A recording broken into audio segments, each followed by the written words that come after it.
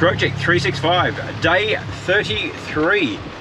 Today's video is just a quick video on driving to work on a wet day and how slow it is. But beautiful for the garden, beautiful to sleep in, not so crash hot to drive to work. Anyway, peace out everybody. Love you. See you tomorrow.